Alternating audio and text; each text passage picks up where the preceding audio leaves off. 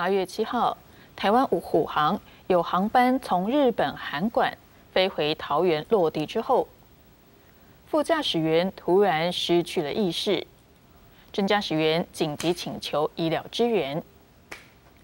而运安会在获报之后，认定是属于重大飞航事故，已经立案调查。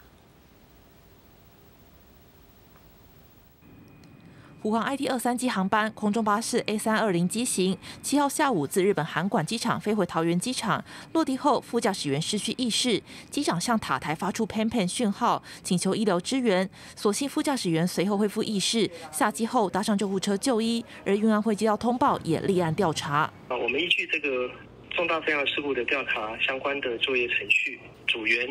在飞航的阶段他失能，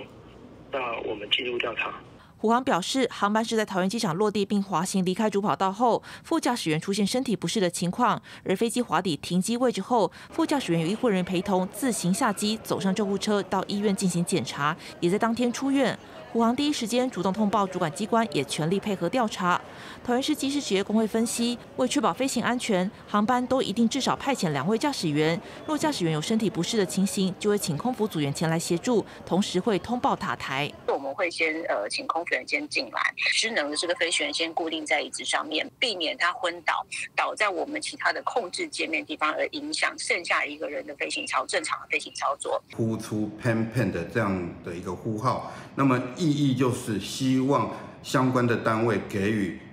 必要的协助。航空学者表示，当时班机向塔台宣告 pan pan 意味次要紧急，通常是航机船舶等交通工具改变路线，或是有人员需要医疗救护，请求优先降落或地面协助，但没有立即性的生命危险。若班机呼喊出 mayday，就代表立即性生命危险且严重无法自救，需要即刻救援。记者徐亚林坚综合报道。